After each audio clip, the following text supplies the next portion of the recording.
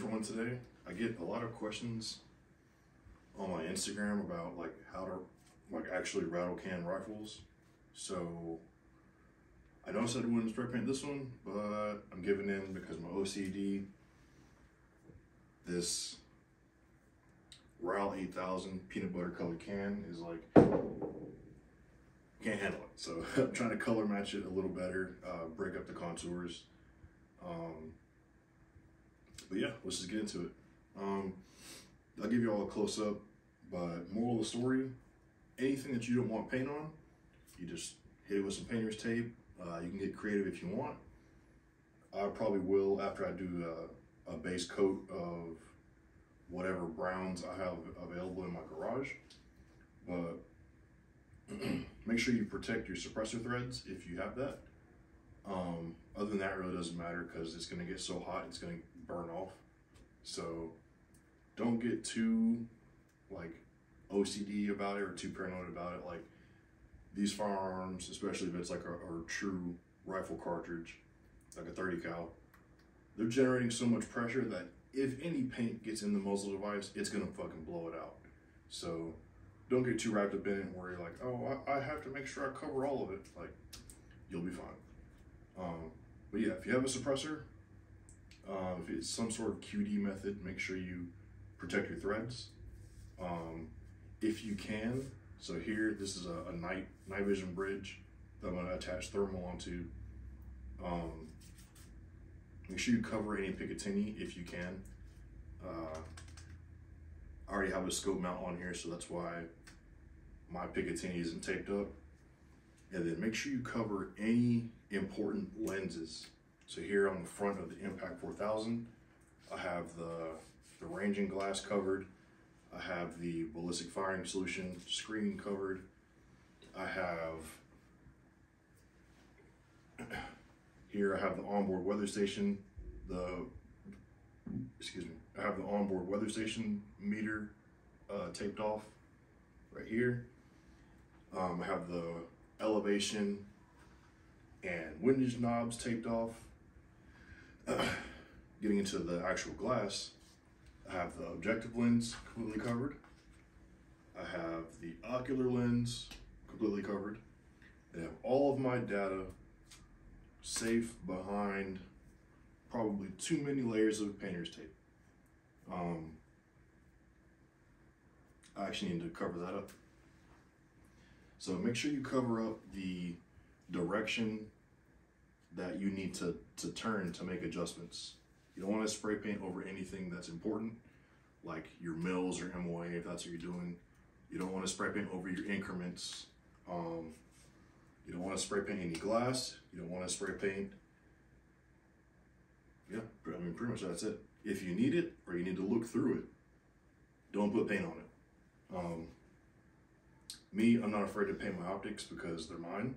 So I'm gonna paint it. But, oh, and the magwell. Here I have a piece of painter's tape covering the magwell. It's like, uh, what's it, like an inch and a half wide. So at the same thickness as a, an AC mag for bolt guns. So I'm not trying to mess up any tolerances because bolt guns are already finicky with the mags. So again, if you don't want paint in it, put tape over it. So paint there or tape there. I put tape on this bag rider just because it was black and I want to keep it black. Same thing with the cheek riser. It's black, I'm going to keep it black. Same thing with the barrel. It was black, I want to keep it black, so I taped it all the way up and underneath. That was tedious. That's why I'm doing this now and y'all aren't seeing me tape this whole thing up. Figured I'd save y'all some time. But now we're gonna go into my garage and get the paint started. Okay, so here we are with the rifle. Um, make sure you do one more like once over because I forgot to tape over the magnification range, even though it's not really that important. Uh, I taped over it just just cause, but make sure you do one final once over, tape over everything that you want to keep. If you don't want to paint on it, put tape on it. Now the only thing left to do is to grab some paint or see what's available. But grab some paint, shake it up, and go to work.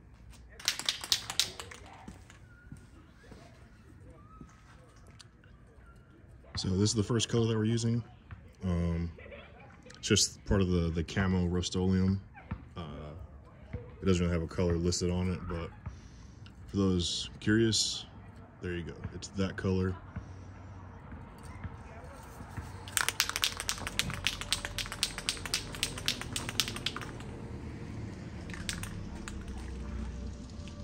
And we're just gonna hit it with like a, I don't wanna say a dusting, but just a, a base coat, just to break up this black. And don't be too afraid to get paint on your rifle. You've already committed to taping it up, so just hit it.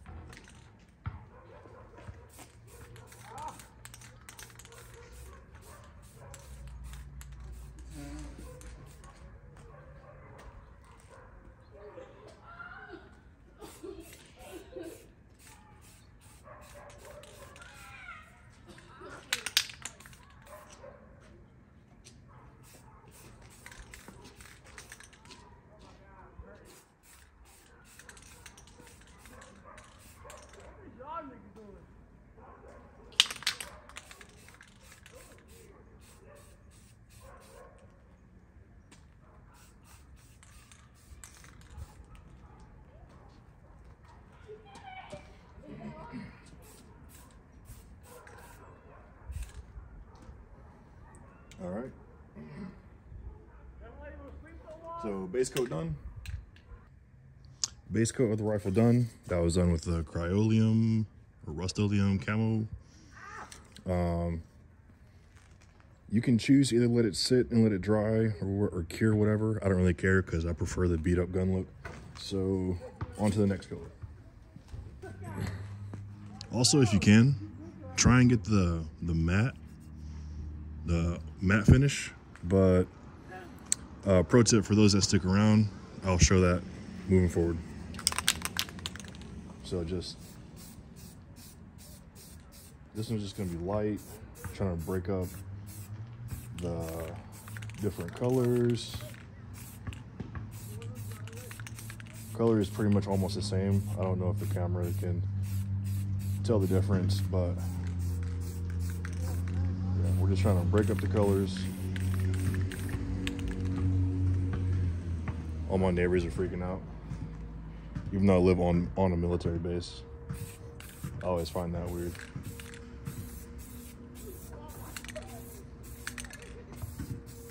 But Just have fun with it. Is your rifle.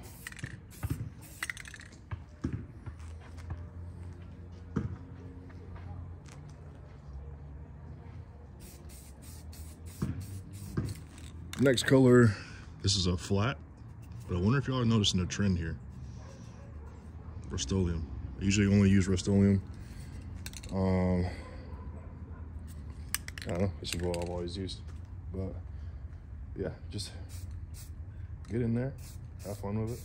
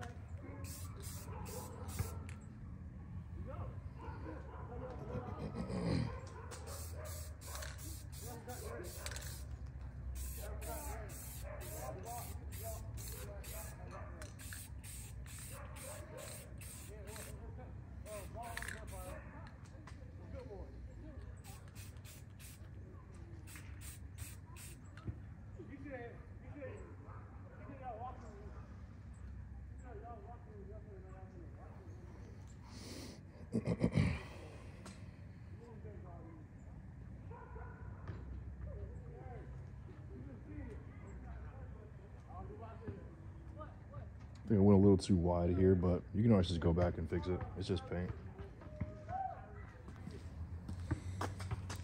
This one's actually a matte coffee bean Krylon.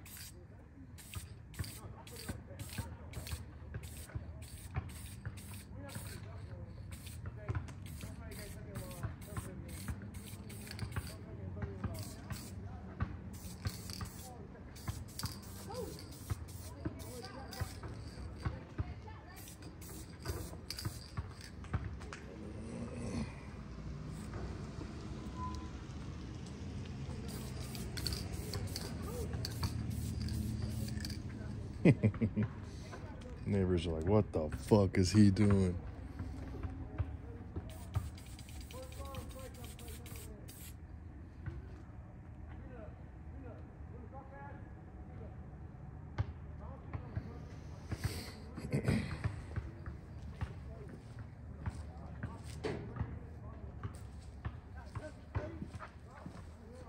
now, just gonna grab a little sniper's veil. There's like seven bucks or whatever the fuck at like any surplus shop. Um, trying to get too crazy with how I do it. I just throw it on there. Now you're gonna go back, get your first color, and just hit it with some accents.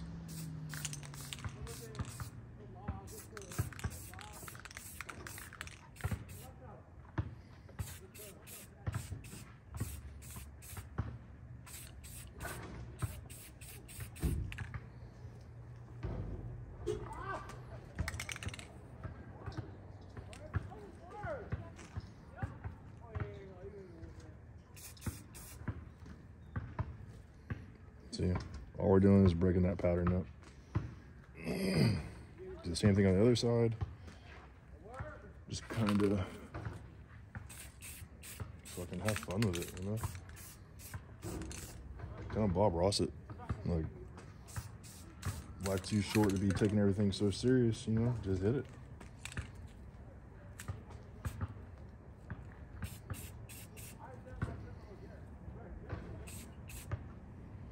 Boom.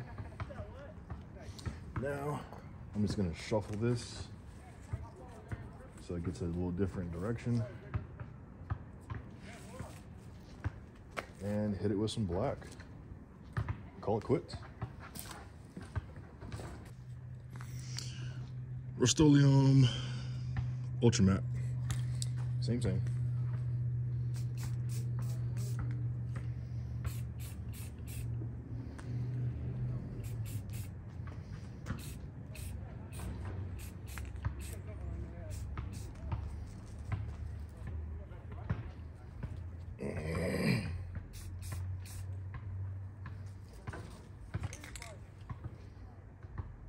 Looks like it's not even going through. Go, bitch. I'm running out of paint in this one. Oh, there we go.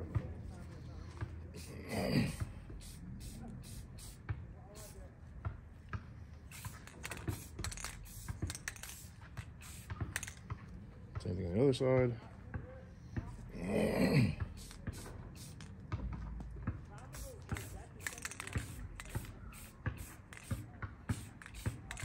You can also use this too, like if you you notice that you have like some light spots and it's like too light for you, you can just hit it again.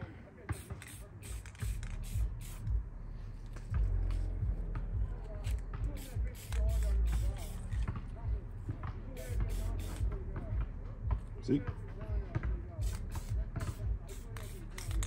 Don't take it too serious, just hit it.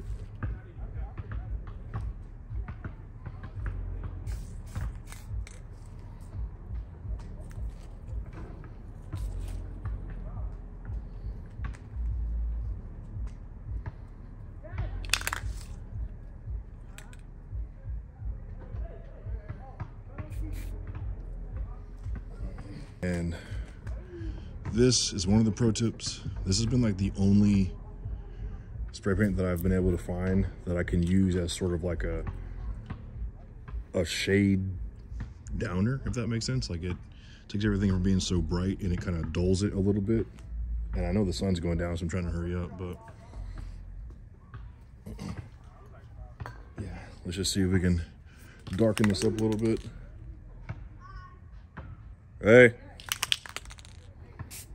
I just hit it back from a distance. Just here.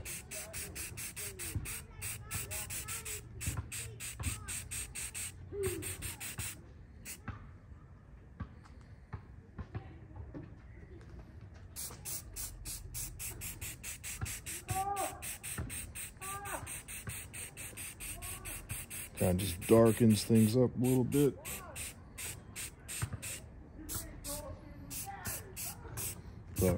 Just remember, don't care too much about what it looks like, as long as it shoots.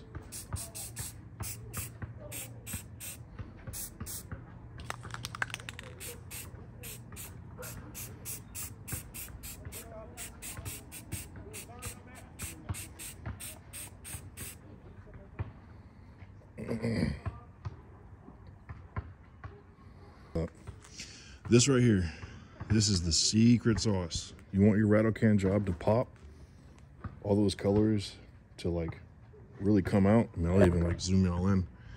So this is what we're working with right now. Kind of like a rustic, post-apocalyptic kind of feel. Like a abandoned post-GWOT kind of color vibe.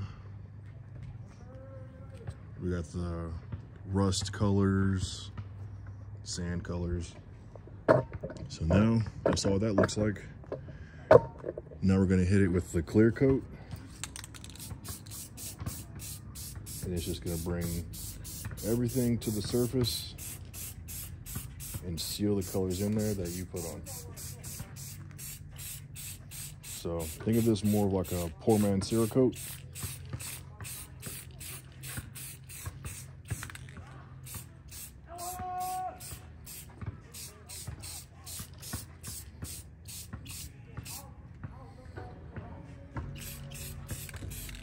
See, I started bringing those colors out. I couldn't even see those with my naked eye before. So I wonder if the camera can pick that up for y'all.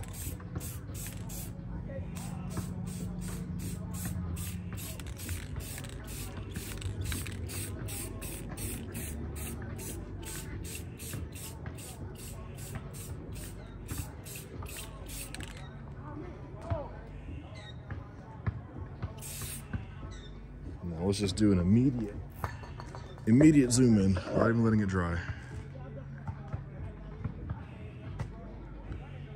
Like I, did, I didn't even see this before. Pop that out.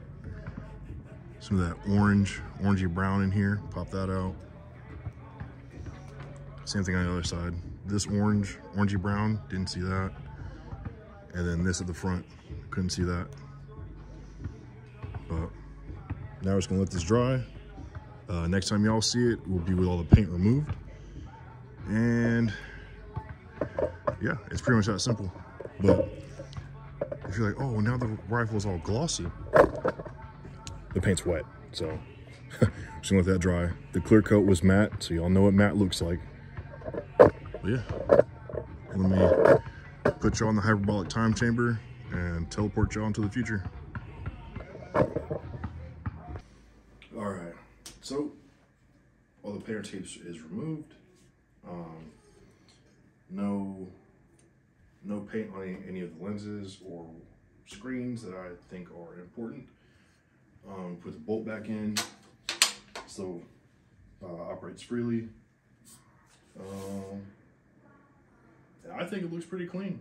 Um, wasn't really the look that I was going for, but it's not all black with this peanut butter suppressor at the end. So I think my OCD is satisfied for a little bit longer. I might do something else to it down the road after it's seen some range use.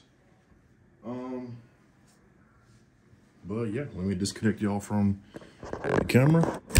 And here we go. I know everything probably looks like black to y'all screen, but there's some brown in there. Got a little headlamp trying to show y'all better. There's some browns, some blacks, breaks up that suppressor color.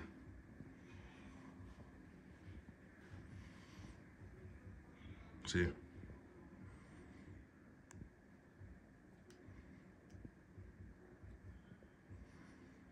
But yeah. All in all, that's how you spray paint a rifle.